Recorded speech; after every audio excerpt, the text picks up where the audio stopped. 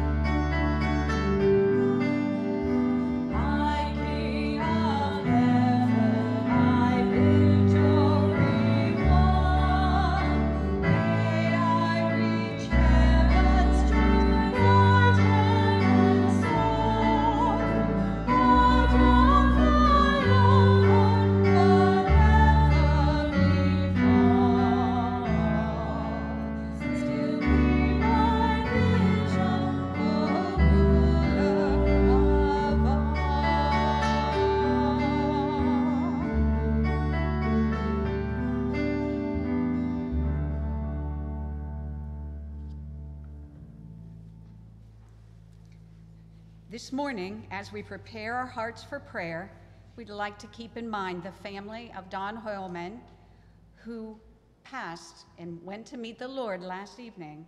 He was indeed a child of God and a pillar not only in the community but within our church, and he will be sadly missed. Now we'll have our opening prayer.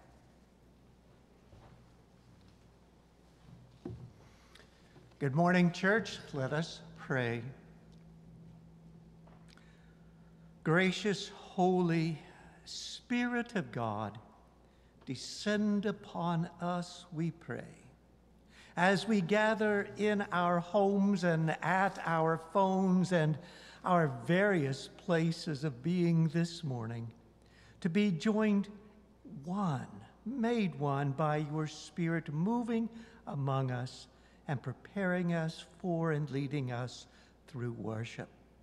O Lord, we gather this day not only praising you and thanking you, but bringing with us concerns for the passing of those that we love, concerns for those situations which trouble us, and much joy for all of the many blessings that you so generously shower upon us. We thank you for this day, for this time, for this opportunity to be with one another and with you through your word and through song and through, O Lord, that incredible Holy Spirit which makes it all possible. Bless us, O Lord. lead us, guide us, and help us to render ourselves to you unreservedly, unabashedly in these moments, that in so doing, we will receive the blessing you have in store for us. And so it is, O Lord, we thank you and bless you in the name of Almighty God, Father, Son, and Holy Spirit. Amen.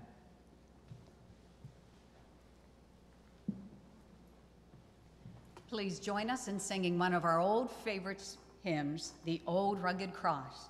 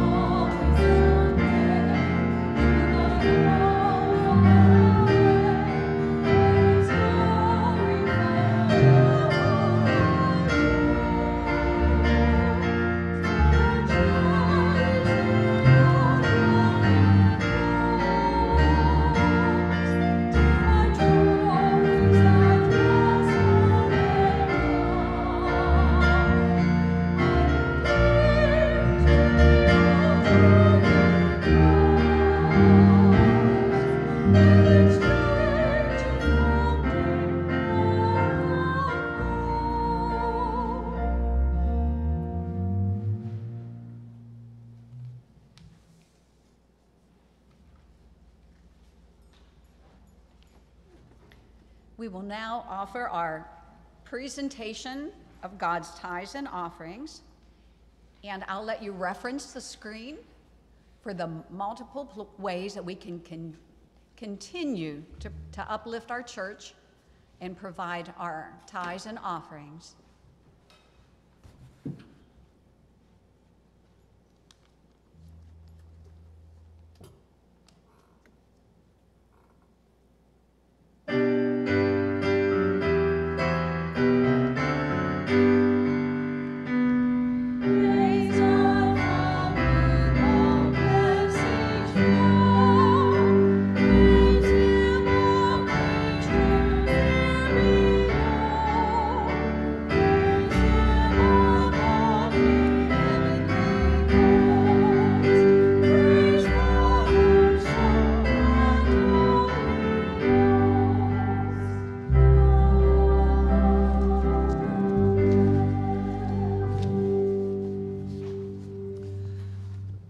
Gracious God, the giver of all good gifts, in our scripture this morning we will hear of a young boy who offered all he had of loaves and fish to feed a crowd. Help us to offer, in a very real sense, all that we have our heart and soul, as well as our finances that through our giving, O Lord, your kingdom may be brought to bear in the lives of those around us and even in the lives of those we may never know.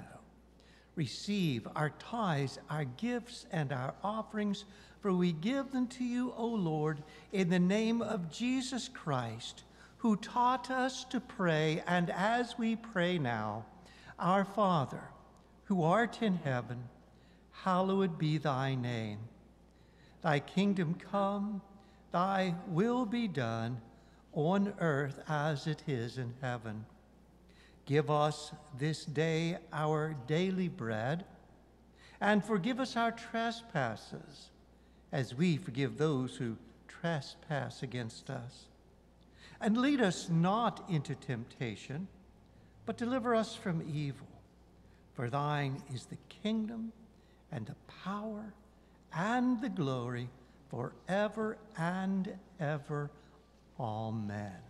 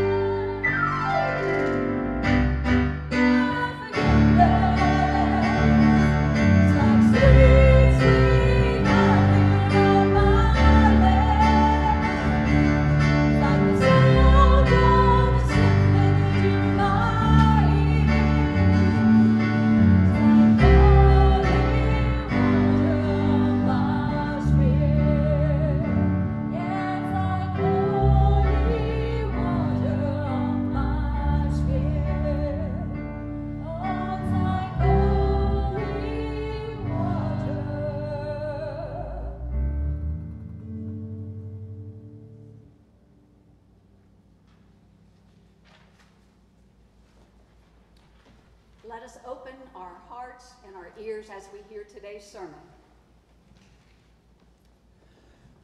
We begin by hearing the word of our Lord. Uh, the Gospel according to St. John, chapter 6, is where I'll be reading, beginning with verse 1 and concluding with verse 14.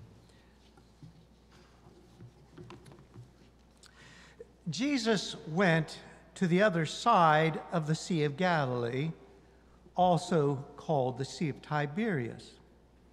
A large crowd kept following him because they saw the signs that he was doing for the sick.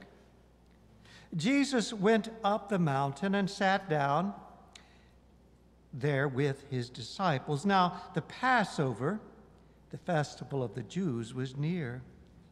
When Jesus looked up, he saw a large crowd coming toward him. Jesus said to Philip, Where are we to buy bread for these people to eat? Now, Jesus said this to test Philip, for he himself knew what he was going to do.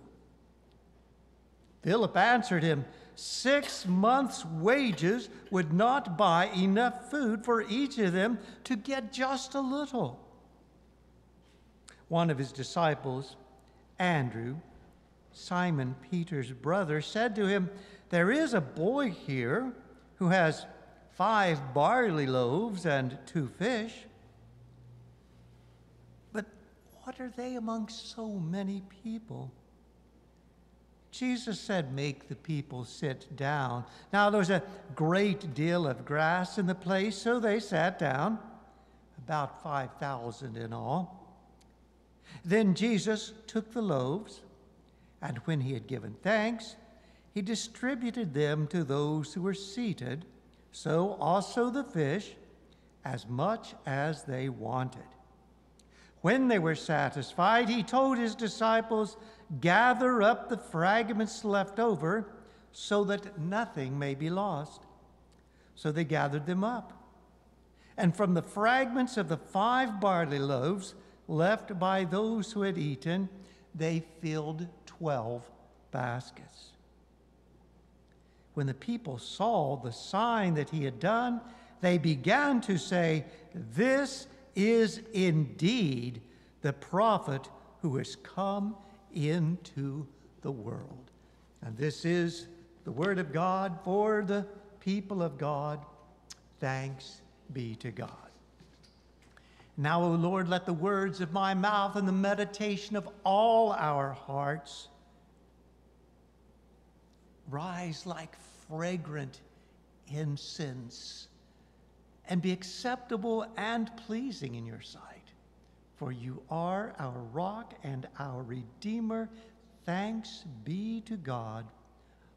Amen.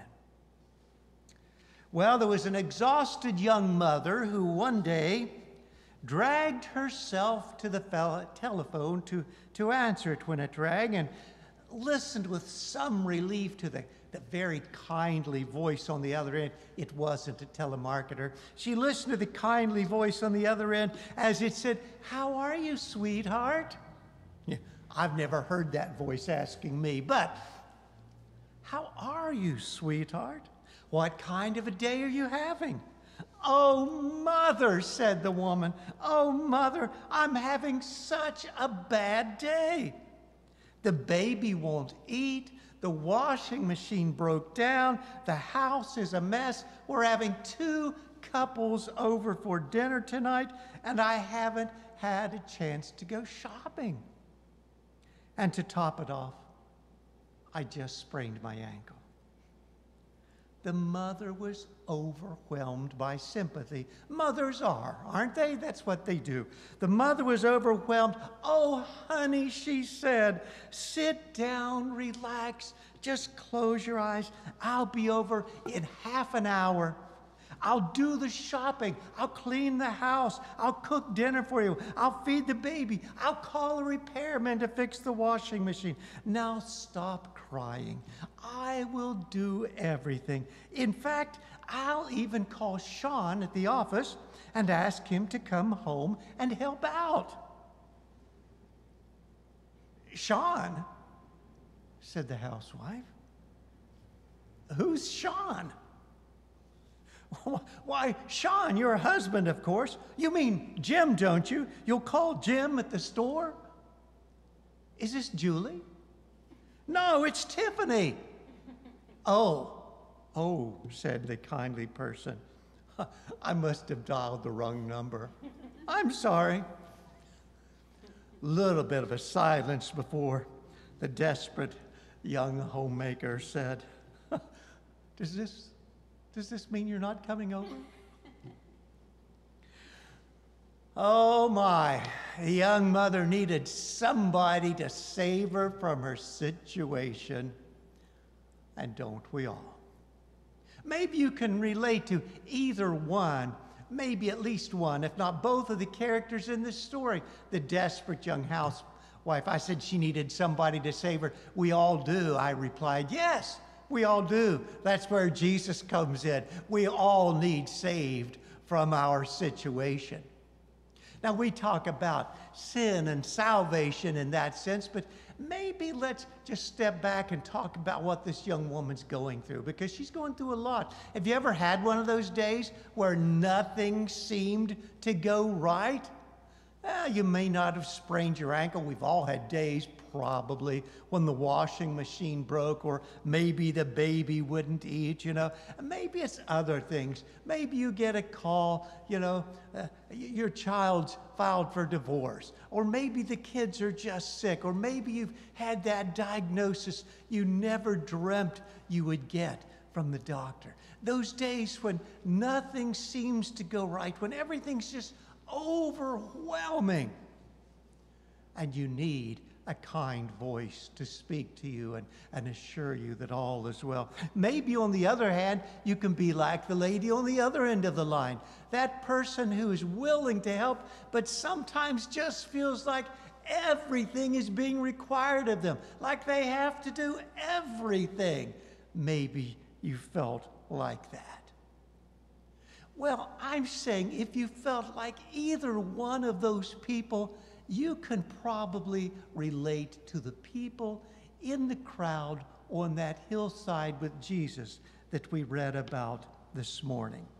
You know, in fact, I even tell the story to help you identify with a, a more contemporary idea of what that crowd was like. That crowd gathered before Jesus. And as I've said so many times over the years, we don't know their names. We don't have pictures of their faces. We don't really know who they were. But by golly, we know who they were. They were us. They were the people who came wearied and worn by the world around them wearied and worn by those days when nothing seemed to go right, stressed, stressed and, and just exhausted by those days when everybody seemed to need them and everything was required of them. We know the crowd.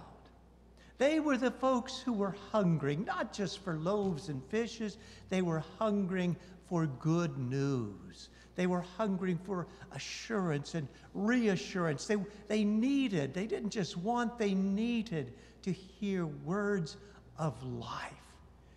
They wanted to see and to hear and witness this one who was already becoming famous for his miracles, teach them and, and touch their lives. And I say to you, as we kind of struggle with the fallout of a pandemic, and, and all of us are in some way or another. You know, for months, I was almost afraid to go out of the house. All of my grocery shopping was done curbside pickup, and you had to trust somebody to pick what you really wanted. and sometimes they just couldn't read your mind. All of us have struggled Oh, we've become, to some extent, I suppose everybody's become just a little bit depressed. Not a lot of social interaction. We've seen one thing after another get canceled or postponed or changed. My daughter, my oldest daughter, who's my middle child, had this grand and, and glorious wedding planned. It was a, supposed to be a year ago yesterday. And it ended up just being the immediate family. And she was heartbroken. Yesterday, they had a year anniversary reception to take the place of that. And it was pretty grand and glorious itself. But the point is, all of us have been affected by the pandemic. And I haven't even begun to talk about those who have been sick, those who have been suffered, those who have seen family members sick and suffering, those who have died, and those who we have mourned. The pandemic has changed our world. And I'm not trying to be pessimistic when I say I suspect the world will quite not ever be the same. See, this crowd, much like us, was a group of people who were in search of answers, who longed for some kind of security, who needed desperately more meaning in their own lives and looked for it in the world around them. And if that were not so, I would ask you, why would they have been chasing Jesus all over creation, out into the middle of nowhere to hear what he had to say? Because they needed something, and in hope and in faith, they thought he was the one who could offer it. They were a group of hungry people, yes, fed with loaves and fishes, but fed beyond that through the graces of a miracle. You see, like them, and they like us, hunger in a number of ways. Because we too watch and wonder and worry and wait. But as worried as we might be some days, as insecure as we might feel at times, as hungry as we are for an end to the pandemic and more comfortable times, still we have been fed. Not with loaves and fishes necessarily, but we have been fed. We have been blessed and we continue to be fed. We continue to be blessed by the peace of God that the world just doesn't know, cannot give, and cannot take away. Oh, yes, church, the crowd still exists. They may not be on that hillside there that we read about in John's gospel account, but the crowd still exists. But now there are way, way too many to fit on any one hillside. That's why we come to places like this to meet Jesus in word, in fellowship, in song, in spirit, to meet Jesus, to feel his touch in sacrament and through the hugs of one another as he reaches out through them we come to places like this. All over town, all over the state, all over the country, all over the world, we come to places like this.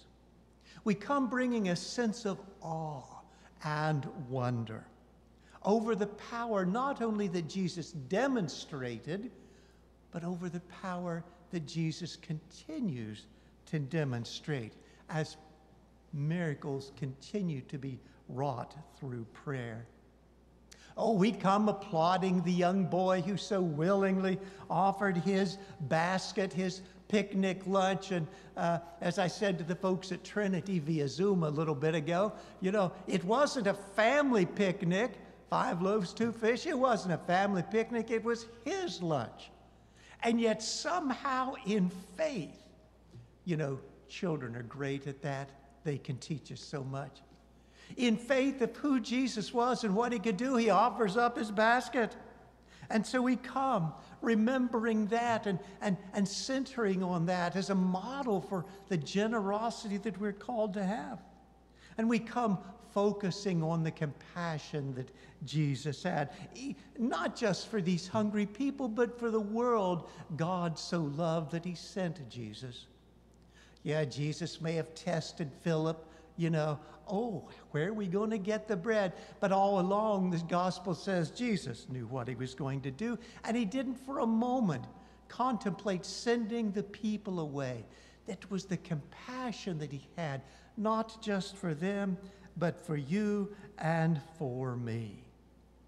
We come in hopes and with the intent of responding when and where we can, and even, even longing for the faith to respond when we are not so sure of our resources and our abilities.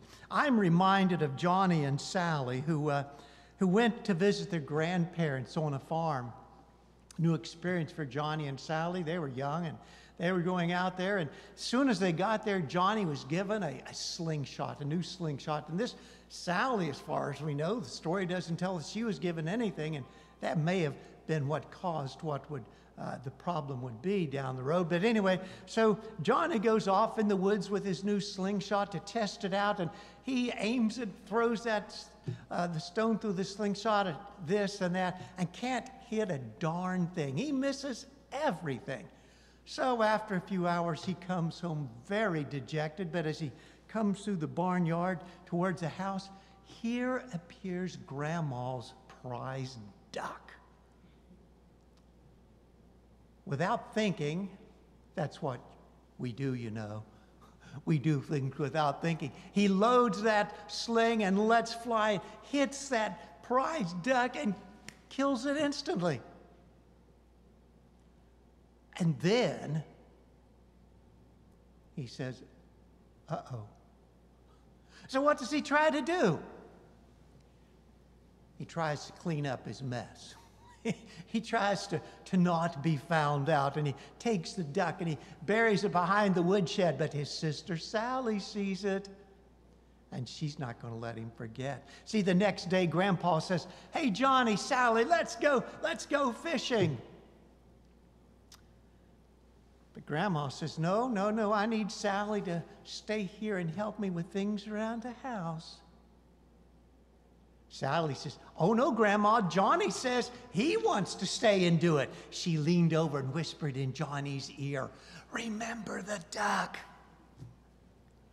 And so Johnny stayed home and did it.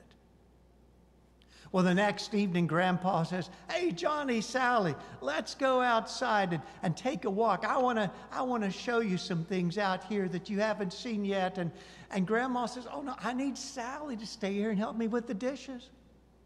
But Sally says, Oh, no, Grandma. Johnny wants to help with the dishes. He told me so. And she leaned over and whispered in his ear, Remember the duck. Well, after a few more days of this, Johnny's just had enough. And you know what? He realizes he can't cover his wrongs. He needs to confess them. He can't cover them up, and it's more trouble and more painful trying to pretend than it is to just come clean. So he goes to Grandma and he says, Grandma, I have to confess to you, I'm sorry I killed your duck. Now, what do you think Grandma did? Anybody? What do you think Grandma did? Grandma wrapped her arms around Johnny and she said, Oh, I know, honey. I know. I was standing at the window and saw the whole thing. I forgave you long before you asked me. I was just wondering how long you were going to let Sally make a slave out of you. We come we come with our worries, our concerns, our hungers. We come.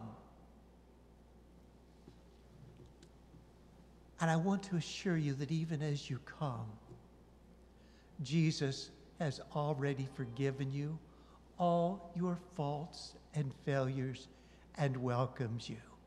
Welcomes you as he welcomed that crowd, feeds you with grace upon grace, a more complete meal than even what the boy could ask for from his basket. You come today, you tune in today, in the presence of God and in the presence of God's Son, who tells us over and over again in words and actions that God does provide beyond what we have the strength and ability and power to understand. All of them ate and were filled, the scripture says, of those who had been hungry. So it is with us. God has provided, God does provide, God will provide. Thanks be to God. Amen.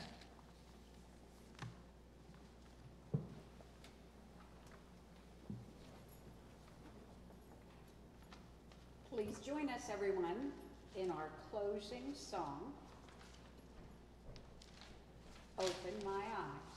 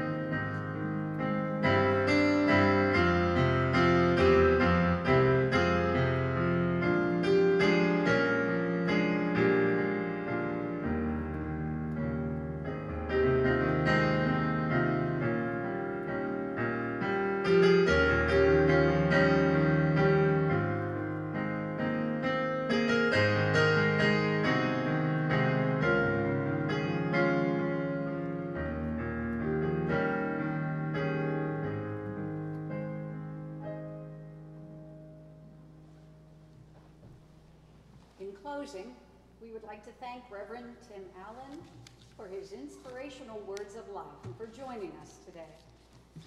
Now we'll have our benediction. Thank you. You're welcome. Lord, thank you for this time. Send us forth with open ears and eyes and hearts and minds to be aware of your presence and attentive to your will. And as we go, may we feel and share and rejoice in the blessings that you give, and in so rejoicing, bring glory, glory to you. Amen.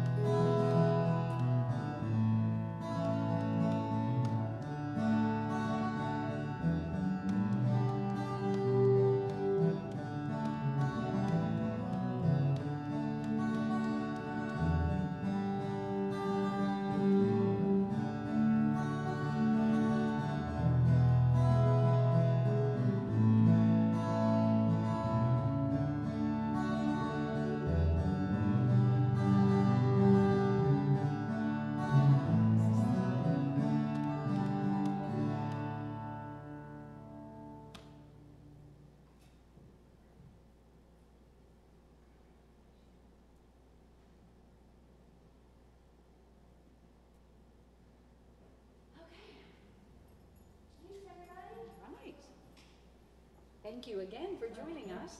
You're welcome. It's a wrap, huh? It's a wrap. It's a wrap. It's a wrap.